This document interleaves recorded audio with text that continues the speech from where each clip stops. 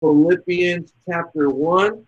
And uh, a couple of things that we're going to be covering is, and I want you to think about, here's some questions I want you to think about is number one, how can I effectively share my faith?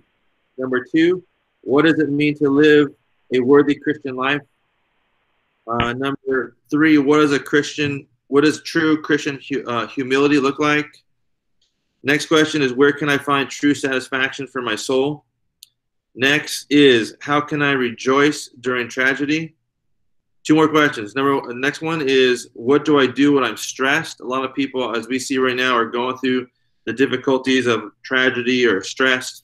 And then lastly, what is it? What does a passionate follower of Christ uh, look like? So um, we're going to read the first part of Philippians here, uh, Philippians chapter one, and then we're going to um, dive in and go to where it all started, which is actually in the book of Acts. So Paul writes this book, and here it is, Paul Philippians one, Paul and Timothy. Uh, and Timothy, servants of Christ Jesus, to all the saints in Christ Jesus who are in Philippi, with overseers and deacons. Grace to you and peace from God our Father and Lord Jesus Christ. So, the reality is Paul is writing this book. Um, the Apostle Paul is writing to the church in Philippi. So he's writing to uh, a, a church. And so now he's going to go on and continue to, to address them. And Paul loves these people. This is actually Paul's second missionary journey, but really the first church that's being planted. And so in verse 3, he says, I thank my God in all my remembrance of you, always in prayer of mine for you and making my prayer with joy because of your partnership in the gospel uh, from the first day until now. And I am sure of this that he who began a good work in you will bring it to completion at the day of Jesus Christ. It is right for me to feel this way about you all because I hold you in my heart, for you are for you are all partakers with me in gra- of, of grace, both in my imprisonment and in the defense and confirmation of the gospel. For God is my witness how I yearn for you with the affection of Jesus Christ, or Christ Jesus. And it is my prayer that your love may abound more and more with knowledge and all discernment, so that you may approve what is excellent, and so be pure and blameless for the day of Christ. So we're to pause there. But why does Paul write in such a way? And it's because he has this connection with this church. This is the first church that he plants. He has a connection with people. Um, he has gone through a lot, which we're going to see in uh, the book of Acts. Uh, we're going to see some one-on-one uh, relationships of some of the people that are actually at the church uh, of Philippi. So he has a deep relationship with these people. and so what we don't see here is church day one. What we see is Paul is on this journey and then he encounters people. And then as he encounters people, then what we're going to see is he's writing back to them. So he's there's this letter written to the church of Philippi where he's had these one-on-one interactions with the people that we're about to see in the book of Acts. So if you would turn to Acts chapter 16, um, just a couple of books over to the left.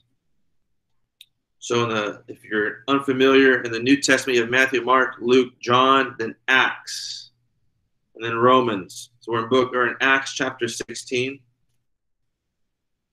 And so as we are there, we're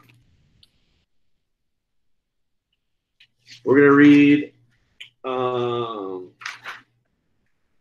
verses 6 through 40. There's a lot. We'll pause a little bit probably.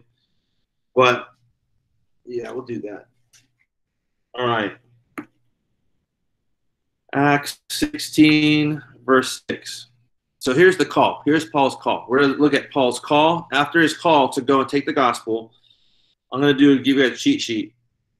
There's three people that he encounters, or three three instances. Number one, we see him encounter a lady named Lydia.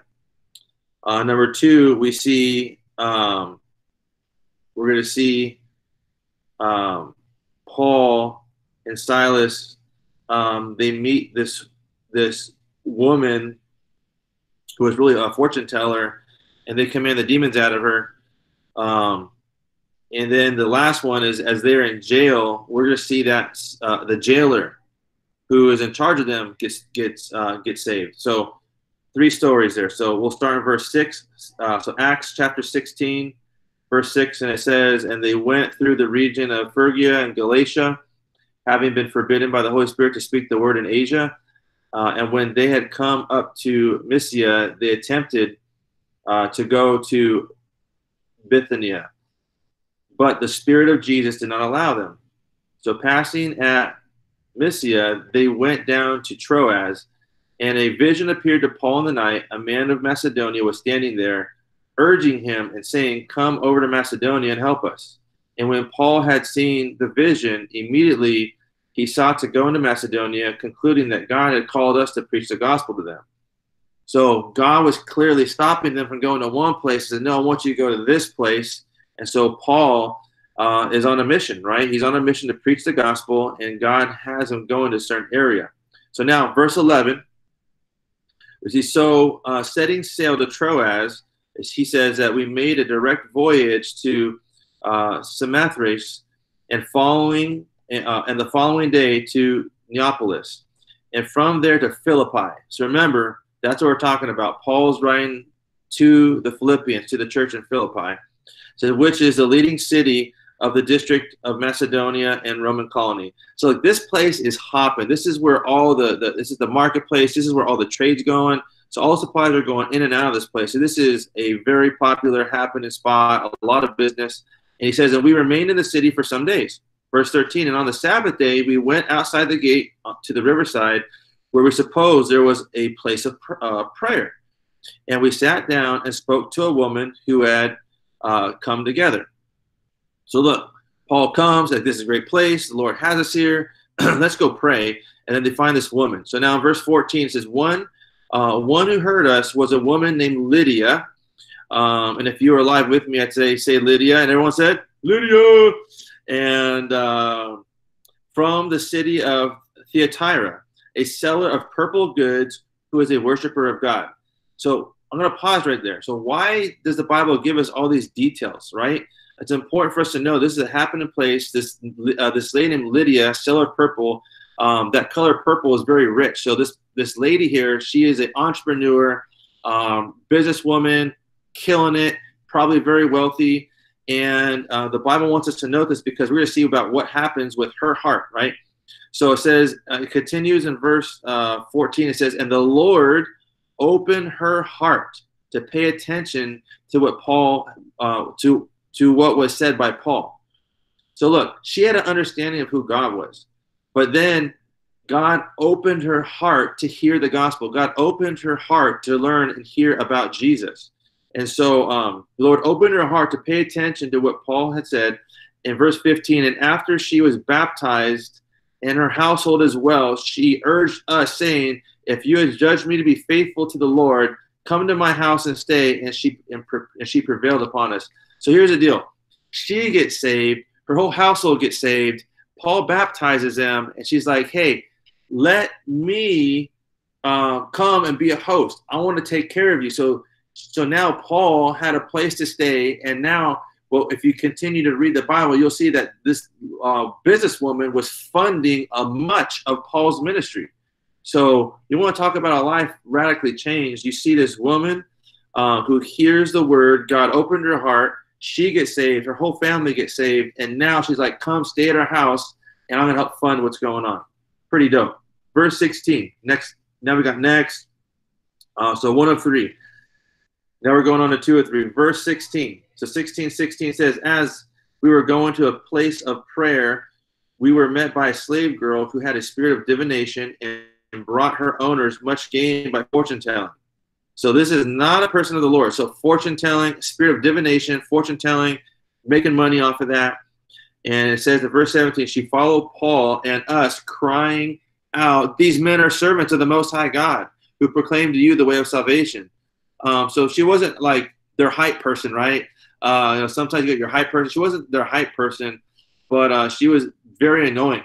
And so and it says in verse 18, and this she kept doing for many days. And check this out, it's hilarious. Paul, having become greatly annoyed, turned and said to the Spirit, I command you in the name of Jesus Christ to come out of her. And it came out that very hour.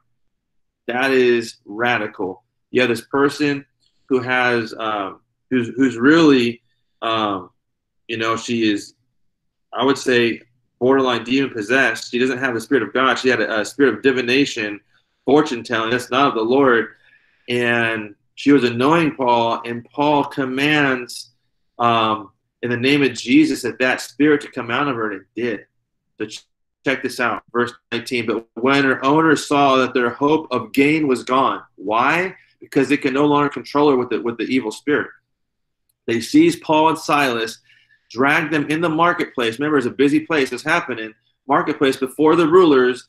And when they had brought them to the magistrates, they said, These men are, are Jews and they're disturbing the city. Um, so look, says they advocate customs that are not lawful for us as Romans or to accept or practice. So look, now it becomes a race card.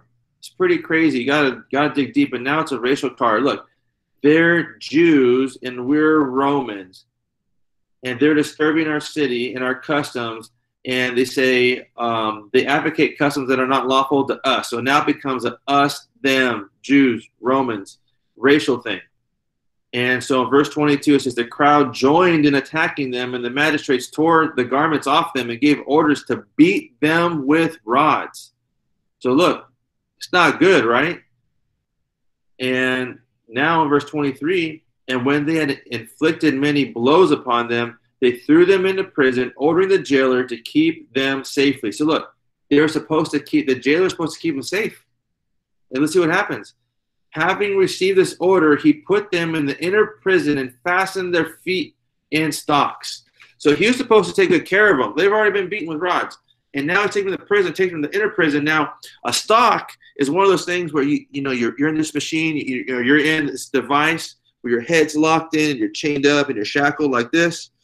That wasn't the type of stocks that they were talking about uh, or I should say, stalking about. Haha, bad dad joke right there. Um, I see Nathan laughing at me. Uh, just wait till your dad, dude. Just wait. And uh, so, what happens is these, if you were prison like these guys in the time that this was happening, which is around, gosh, uh, AD like 40, 50, around there, um, they would chain you and contort your body to where it was uncomfortable. So you would be chained, not where you can move around or whatever, or not you weren't even locked in a position. They would chain you down and contort your body so you are so miserable and uncomfortable, and they would um, and you'd cramp up and you would and they leave you there for days. No food, no water. They would leave you chained up, contorted for days. And they said that they were supposed to keep them safely. So now let's look at person number three. What's up, Dustin? Um, so now person number three. I think everyone's on mute. If you can stay on mute, that'd be great. Now we're in Acts chapter 16, verse 20, uh, verse 25. You want to join us, Dustin? Acts 16, 25. About midnight, Paul and Silas were were praying and singing hymns to God, and the prisoners were listening to them. Wait, wait a minute you have these guys who are beaten, thrown in prison, chained, all contorted, and they are singing hymns and songs to the Lord. They're singing, Great is thy faithfulness. Great is thy faithfulness. I don't know about you. I don't know how many of us would be singing Great is thy faithfulness when you're chained and contorted up. Great is thy faithfulness, right? Like Come on, man. So, so take a look at this. Verse 26. And suddenly there was a great earthquake. Yo, look. These dudes are being persecuted. They're tied up. They're chained up. Can't do anything. They're singing praises to God. And now the earth quaked so that the foundations of the prison were shaken, and immediately all the doors were open and everyone's bonds were unfastened. That's pretty crazy. Verse 27 When the jailer woke and saw that the prison doors were open, he drew his sword and was about to kill himself, supposing the prisoner had escaped. So look, he's like, wait a minute, my job is to keep these people. He wakes up. I don't know how he wake up from the earthquake, right? But he wakes up, And what he does, he sees all the doors are open. He's like, man, all these prisoners are out. You know what? I don't want to face the wrath to come to me. I'm going to take my sword and I'm going to kill myself. And let's see what happens. But Paul cried with a loud voice, Do not harm yourself, for we are all here. Verse 29 And the jailer called for the lights and rushed in, and trembling with fear, he fell down before Paul and Silas. And in verse 30, then he he brought uh, then he brought them out and said so the jailer brought him out and said sirs what must i do to be saved man there is no god like our god that's all i can say you have the jailer who mistreated him and now he brings them out and he's at their feet and he calls them sirs he says sirs what must i do to be saved and they said believe on the lord jesus and you will be saved you and your household that's pretty. That's pretty dope. I probably said that's pretty dope three times. This message is entitled "That's Pretty Dope." How about that? Philippians chapter one. That's pretty dope. Uh, and they spoke the word of the Lord to him and to all who were in his house. And he took them the same hour of the night and washed their wounds. And he was baptized at once, he and his family. Then he brought them up to into his house and set food before him. And he rejoiced along with the entire household that he had believed in God. Bam. So why did we go and read that? Because this, the Lydia, the, the seller of purple, this slave girl who was into divination and fortune telling, this jailer who mistreated Paul and Silas, they come to know Jesus Christ through Paul giving up his life. So when we go and further read in later in Philippians, to live is Christ, to die is gain, Paul lived it. There is nothing that Paul wouldn't do. There was no distance he wouldn't go. There was no person he wouldn't stop and talk to for the sake of the gospel. And so that is my encouragement to you guys is is where are you at? My my hope and prayer is that you know Christ. And if you don't know Christ, reach out to me immediately. I want to pray for you to come to know who Jesus Christ is because Christ can save you. And as we see, He didn't save you, He wants to impact your whole household. We saw it twice. Two, two people come to know Christ, them and their whole household come to know Christ. So we just touched the surface level. We're to be going through the book of Ephesians. We just went into Ephesians chapter 1 today. And uh, in closing, I'm going to go back to Ephesians chapter 1 real quick as we close out. Because we read Ephesians chapter uh, 1, verses, um, whoops, 1 through, let me see, where am I at? 1 through 9. And then we went back to Acts chapter 16 to see the history of the early church.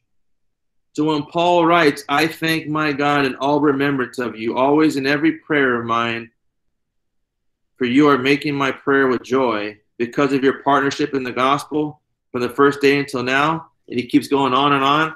He's talking about Lydia. He's talking about the the the, the girl who is um, in divination. He's talking about the jailer. That is the early church. And so we have to realize none of us that are in this chat are people in their lives who know Christ. None of us would would be here in this crazy thing right here, this Google Meet, if it wasn't for Jesus Christ. We probably have hardly anything in common. But for somehow God has brought us together and my challenge is know Christ. And that's what Club Challenge is all about is to is to is to uh to know and to grow, to know who this Christ is, and secondly is to um is to grow in him. You got to know him. once you know him, you grow in him. Amen. So why don't I pray and then I'll open it up. If we have some open discussion, we can unmute. Let's pray. Father, thanks for your word. Thank you that you love us. Thank you for our time in Philippians. I'm looking forward to being in here on a daily basis with whoever you bring, and may you be honored and glorified. May people come to salvation and know who you are. And I pray, Lord, that not just people who jump in on this on this group. I pray that as they are changed by the gospel, I pray that they would go and tell their household. And I pray that their whole household would come to know you. So thank you for our time together. In Jesus' name, amen. By the way, love seeing a couple of you baseball guys in here. And